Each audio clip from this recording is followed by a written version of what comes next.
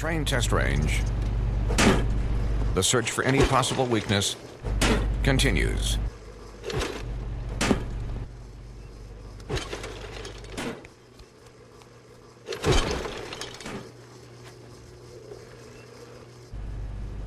It's hard to stop a Trane. Really hard. Trane, the most reliable for a reason.